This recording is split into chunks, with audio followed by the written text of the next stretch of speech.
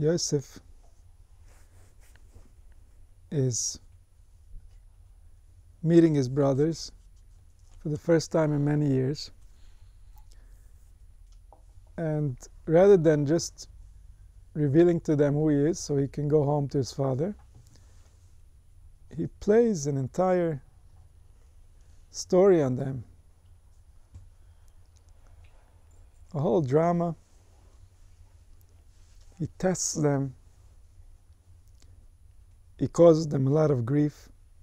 He causes the father to get extremely worried, to separate from Binyamin, not knowing if he is ever going to see him back. From our place of understanding,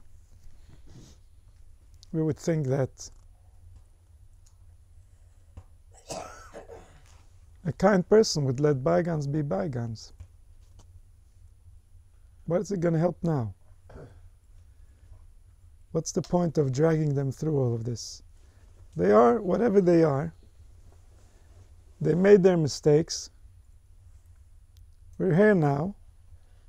There was a lot of suffering. Why don't we just move on?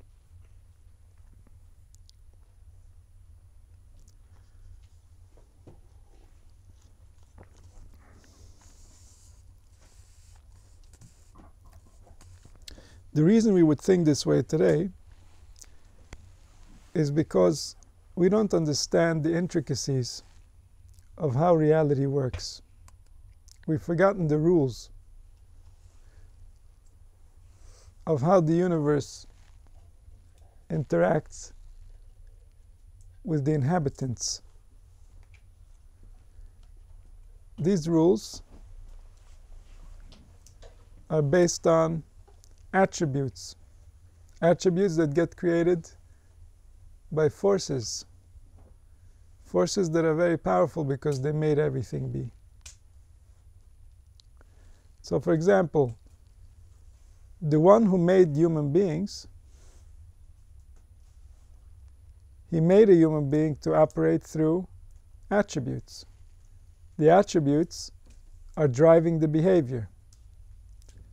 And so, therefore, we know that this is the way he thinks. This is how he operates. He operates through attributes. How? Because this is how he created the entire, the entire system of how we interact with each other and of how nature interacts with us.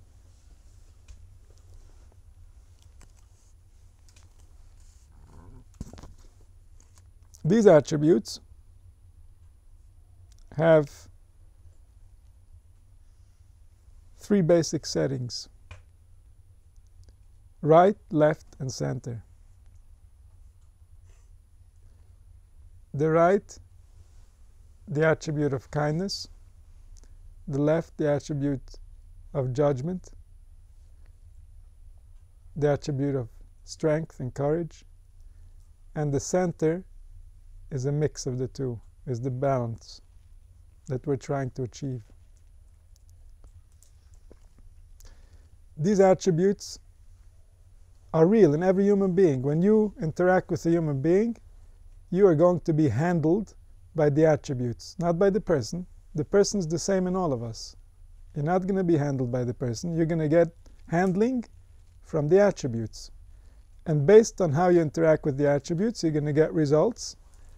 The results might be favorable or unfavorable, all according to the interactions between the attributes. Not personal at all. Nothing to do with you as, you as a person. Never anything to do with you as a person. You as a person is the same in all of us. We're all the person. We're all the one, the special one that is and should be seen and respected. And yet, it's not what we're going to get. What we're going to get is how did my attributes respond to yours?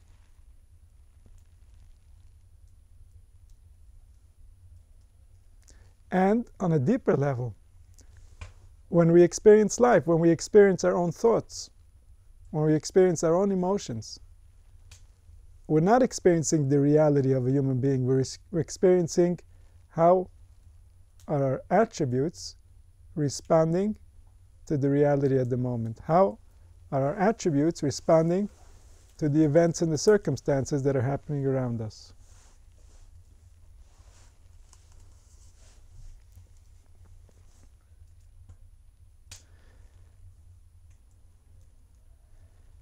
And so these attributes demand things of us in order for them to flow fluently through our system. In order for us to receive their intelligence and interact with each other intelligently, we have to learn how to listen to the intelligence of the attributes. The attributes know.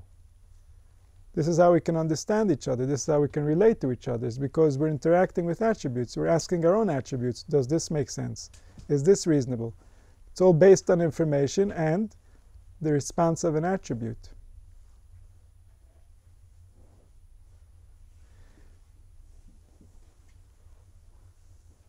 And so, in the original existence, in the permanent existence, there's only kindness.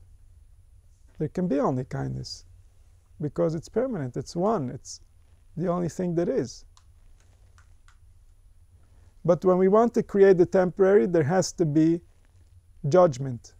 What are we going to create and what are we not going to create? If it's temporary, it means it's not everything anymore. It's not the permanent. It's not the thing that never changes. So what is it? It's something that's less than that. That less means that there's been a judgment. We've been favoring something over something else.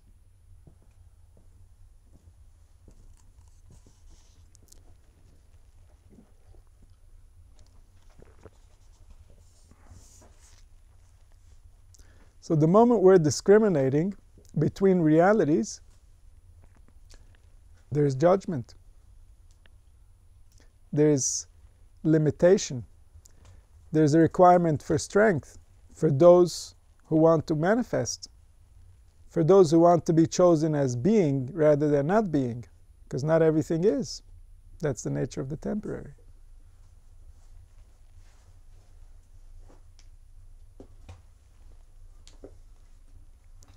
And so this attribute, which is inherent in our form of existence, it demands that everything that gets produced be judged.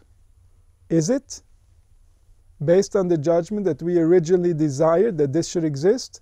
Or does this thing not comply with the original judgment for existence? does this thing go out of the limits of what we originally designated that we want should exist? This is the nature of judgment. And so, in that nature of judgment, everything needs to receive, in response to its behaviors, in response to its creations, exactly according to how it creates. And this way, those who don't deserve to be will eliminate themselves. The concept of Mida Keneged Mida means those who are kind, those who deserve to live, will receive life, and those who don't deserve to live based on their own judgment, then they say that they shouldn't be here because, based on their beliefs, they don't belong here, and therefore they self eliminate.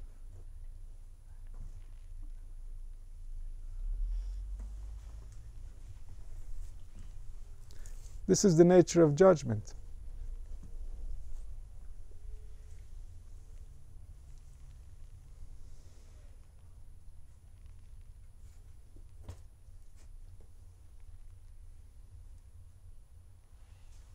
And so kindness says everyone should get. Judgment says, no, not everyone should get. What we get should be based on merit. Merit that we are givers. If we're not givers, we shouldn't get. If we're giving to not givers, it means that the kindness is not really being kind. We're violating our own principles. That's what judgment says. And so these attributes cannot be avoided. It's not up to individuals to decide if these attributes are going to apply the attributes create the individuals. The attributes are before the individuals. The attributes are divine attributes. They're running the world. They make all the decisions every single day in every single life.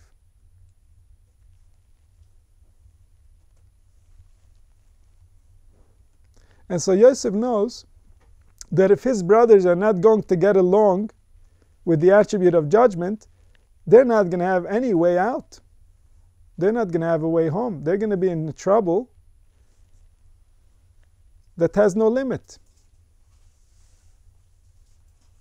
And so rather than him doing the easy thing, which is simply to reveal himself and give them an easy time, he wants to correct the wrong because he knows that in reality there has been a wrong.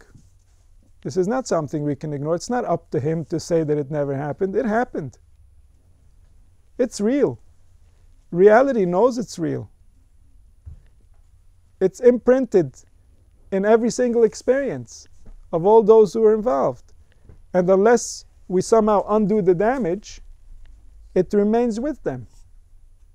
They're not free just because he lets them off the hook. They have to deal with something much greater than that. They have to come back to the truth. They have to come back to reality. And so he orchestrates an entire process where he's going to undo the damage and test to see if with Binyamin they behave differently than they did with him. All this in order to correct their face against the infinite face.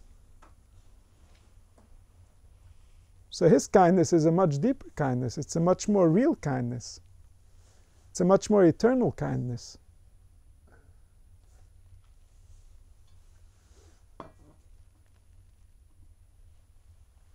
But then, while he is still allowing all this to play out, his own attributes became activated.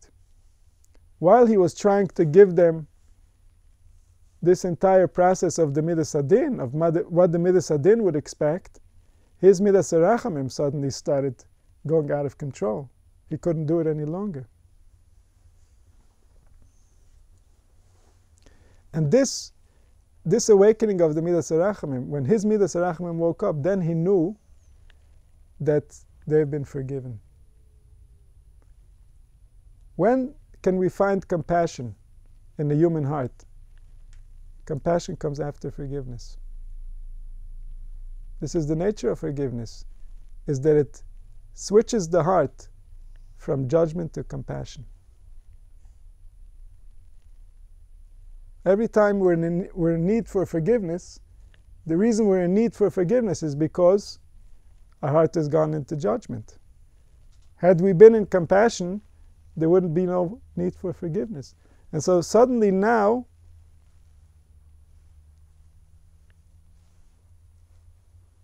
the rulership went over to a different attribute. And suddenly now the behavior went to a completely different avenue. Suddenly now,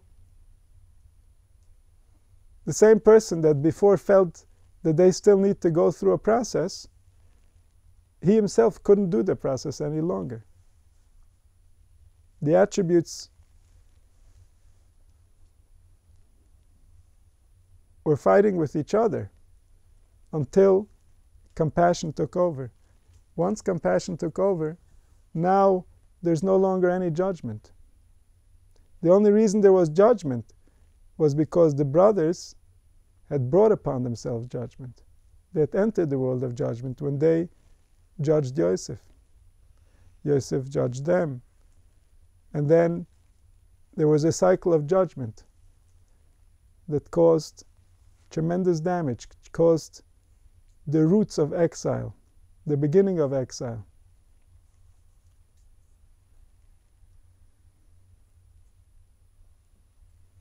Because exile is something that we take upon ourselves.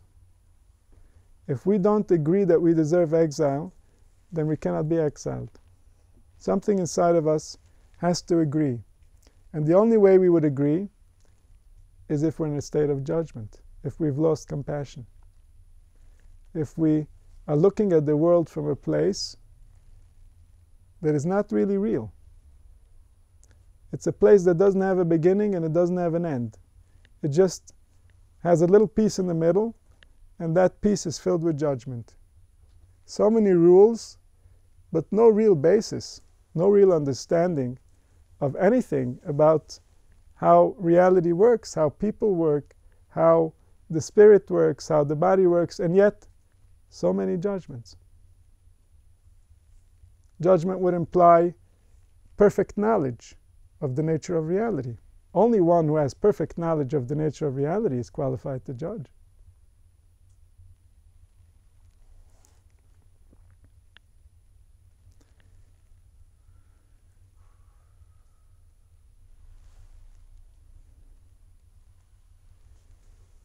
So for us, the layers that separate the one experiencing from the one that is, the layers that separate the awareness from coming back to presence, are layers of judgment that can be melted by compassion. All these layers include a statement that says that this reality is unacceptable on some level.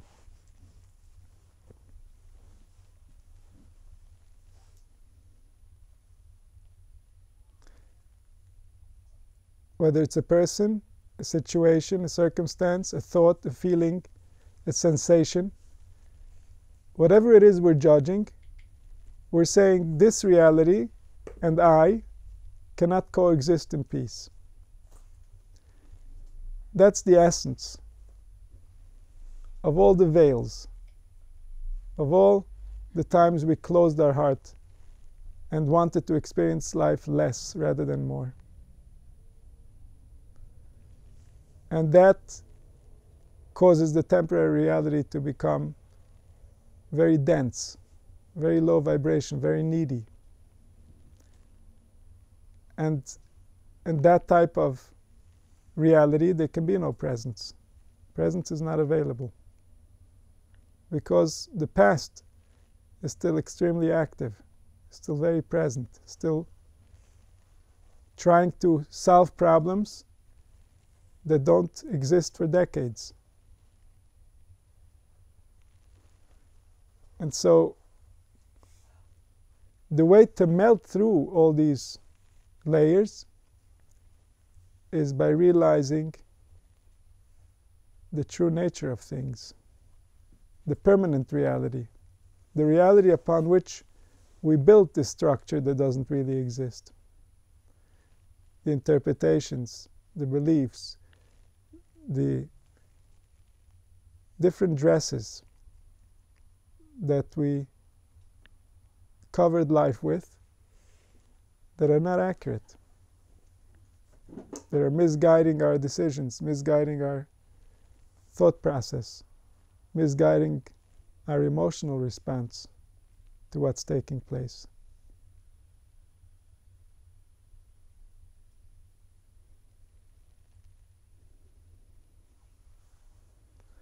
And so the, the goal for us, the reason we were given the Torah is so that we have the capacity to convert judgment to compassion.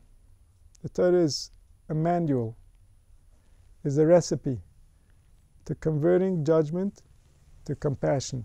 The name that we're looking for, we're calling the Creator by a specific name. The name that we're calling Him by is the name of compassion, the name of mercy. That's the one we want should show up. When that one shows up, it doesn't matter anymore what happened. That's the only one we can really get along with. If it's going to be about what happened, then what are we going to start calculating now? Every single thing that happened and how it happened and what we thought and what was our intention? That's an endless process. And who's going to be clean?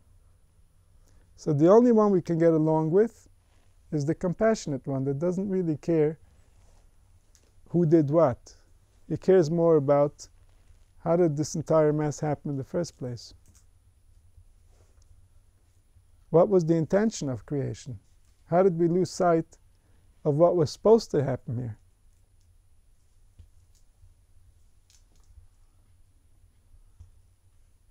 Because as soon as there's compassion, then we see the truth becomes revealed. The truth is a compassionate truth.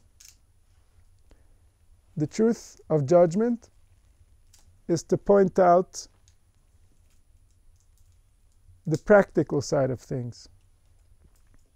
And the truth of compassion is to point out the essence, the essence of things. The essence is always pointing towards compassion. If we look at any individual life and we understand the basis of their suffering and their mistakes and the different struggles they had to go through until they became what they are, then we would always find compassion. And yet, when we simply look at the actions, then the first thing that comes to mind is judgment.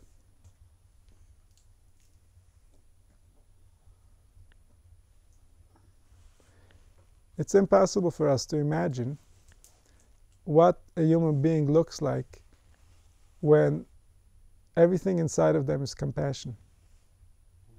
The world hasn't seen people like that in a very long time because we come into a world and it's covered in judgment, it's covered in struggle, it's covered in competition.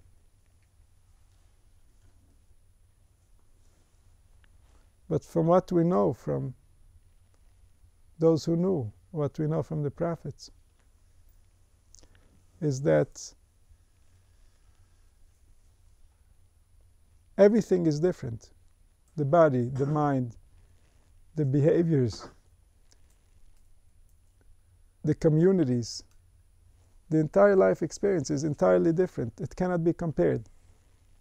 The only way really to describe the difference between an experience that's based on compassion versus a, an experience that's created by judgment is to say that the experience created by compassion would be described as heaven, and the experience created by judgment would be described as hell.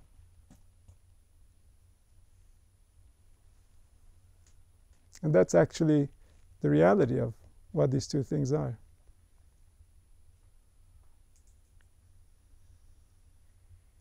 Because one who goes against the world and never looks back doesn't really know that there is compassion doesn't know to look for it, not while he's in the body and not after. And so their experience, if that's how they choose to behave, is one of judgment. The attribute that they chose is what will guide them to their future. And so one who lives by judgment has to be perfect in some way, perfect in the eyes of the one who sees all. Or else, the attribute of judgment becomes too hot to handle. And yet, on some level, we all have to interact with all attributes. We all have to make sense in all their eyes in order for us to exist, in order for us to survive. Whatever attribute we're not getting along with, we're lacking certain functions in our practical lives. We're lacking certain functions in our spiritual lives. We're lacking certain functions in our emotional lives.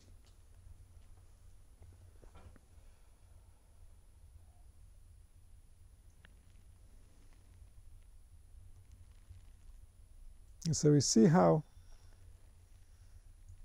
the Shvatim, the, the people in that time, they saw life for something that was intelligent, was alive, was real.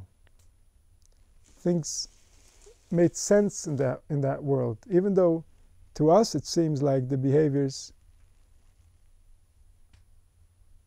are not suitable to the way that we would think. But the reason they're not suitable to the way that we would think is because we don't understand the details of what's really happening over here. We don't understand the information they base their decisions on.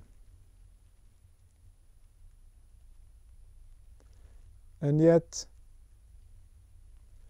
we know from the little bit that we can see and understand that these people lived every single word, every single thought was with purpose, was alive, was involved. They, were, they didn't live in distraction. They weren't the distractions that we have today, but these people specifically, more than all the others, wouldn't get distracted. Life was extremely real. Everything was with their entire spirit. Everything was thought through to the last detail. This is the nature, this is the capacity of these people. This is why they were so meaningful and influential to the future of humanity.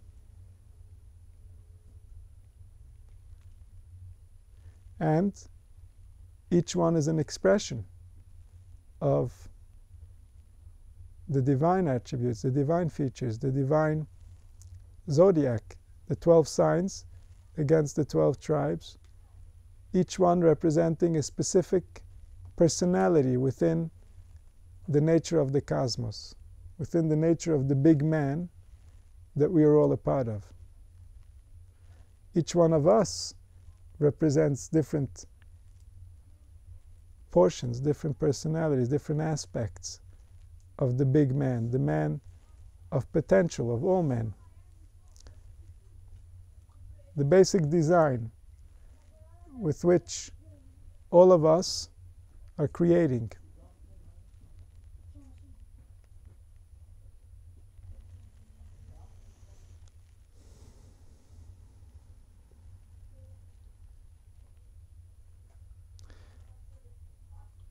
And so each one, as he goes through the world, as he lives on the physical reality, he he is expressing, he is defining the attributes that he represents. The permanent is interacting within the temporary. The permanent is becoming the temporary.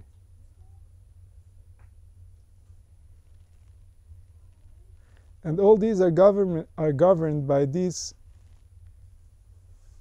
same attributes. The attributes that are creating are creating themselves in the manifested reality. The kindness of the Creator creates a man that's a vessel for that kindness called Avram.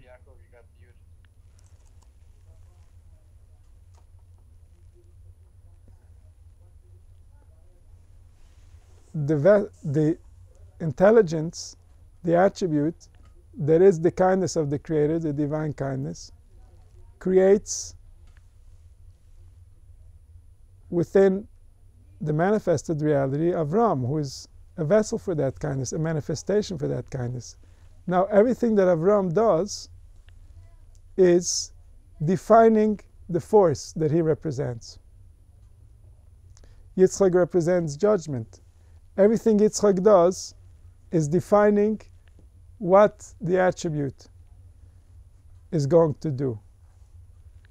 This is why it is so meaningful, it's so significant if Yitzchak is going to give blessings to Yaakov or Yitzchak is going to give blessings to Esau because he is now defining the permanent truth, how it's going to interact with the temporary truth. He's now defining for the duration of the existence of our species how the attributes are going to interact with each other, and as a result, what's going to be our experience. Because our experience is being decided by the attributes. Even now, every word is being formed, is being chosen by the attributes that are trying to express themselves. That's the nature of the intelligence that creates the words and the sentences that we create. And so everything has inherently within it the truth that's creating it. if we reverse engineer the sentences that are being said, we can find the attributes hidden, hidden inside the sentences. They're alive inside the sentences. And this is created biologically. This is created on a physical level. There is movement that neuroscience can perceive with the tools that we have today. We can see the mind think and create, and that becomes concept that gets dressed in words. And that concept is expressing attributes. And those attributes are making all the decisions, not only what we're going to say, also what we're going to do, also how we're going to feel.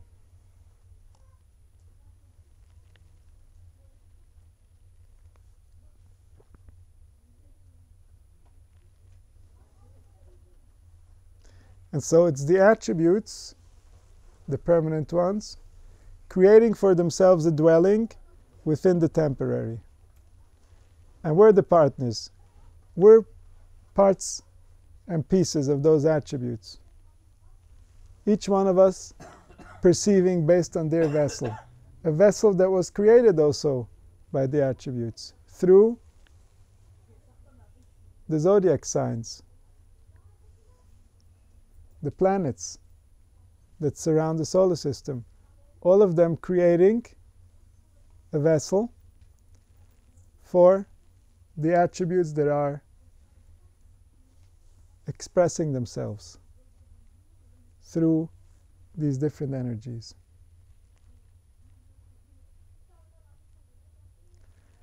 And so the goal of us as a nation, the reason that we were created as a nation is to bring compassion to humanity. Humanity has been plagued by judgment for 6,000 years, a divine decree. It's part of our evolution. We had to learn and discover and become certain energies. And yet, through the power of speech, we could have interpreted this process, this period, in many different directions. But given that we had an overage of judgment because of the lessons that we're learning, our speech only took us deeper into judgment. And so, in order to move on, to move out of this difficult phase, we need to use our speech in order to bring compassion into the situation, in order to bring the waters of compassion and to reduce the flames of judgment.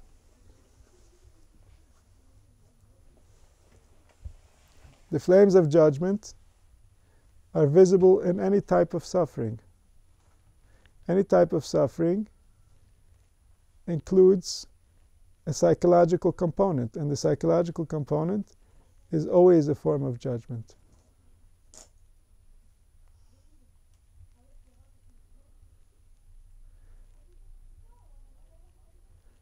the world is coming to a place that it needs relief more than ever. And relief comes in the form of compassion. Compassion opens potentials within the physical biology, within the spiritual biology, within our capacity for thought and emotion that are simply not available when we're in a state of judgment.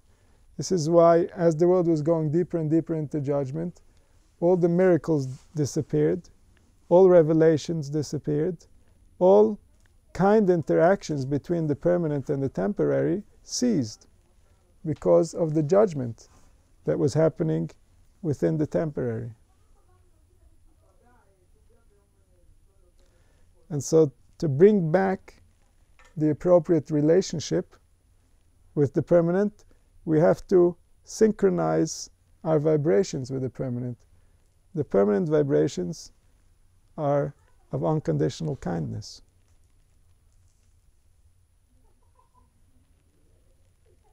Only through unconditional kindness can we support all these different attributes. Attributes that seem to contradict each other, and yet they are really one and the same. one and the same as is coming out from his permanence and allowing the temporary to express the different qualities of the permanent.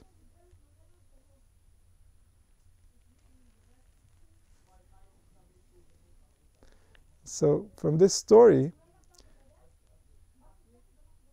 which is the drawing of whoever drew space, whoever created time, creating in the world of consciousness, creating these souls to come in specifically in this sequence, to create the 12 tribes that correlate to the forces that create life. This was in order to demonstrate the relationship between the permanent and the temporary, to demonstrate the involvement of the permanent within the temporary. And so it's through the behaviors, through the interactions, through the relationships of these people that we learn about these attributes, that we discover the meaning of our own journey, that we can connect to something that is more real than anything that's available in today's cultures. So, may we all have the merit and the courage to allow compassion to direct us, to allow the attribute of compassion, which is the purpose of our mission on this planet, to really guide our behaviors, to guide our thinking, to guide our emotions, to bring forgiveness to all the judgments of the past, to bring forgiveness to all the different struggles where we felt like we didn't have enough, or we didn't do enough, or we didn't know enough. Compassion that's deep enough, that's real enough to override all the different obstacles that we might have behind us so that we can get to a place of reconciliation, so that we can return to ourselves, so that we can appease the one that dwells within all, the one that is the source of the attributes, the one that gave each one of us a little piece of himself when he gave us existence. So may we all find the compassion to return to that one, to see that one in each other, and to unite as that one. May it happen soon.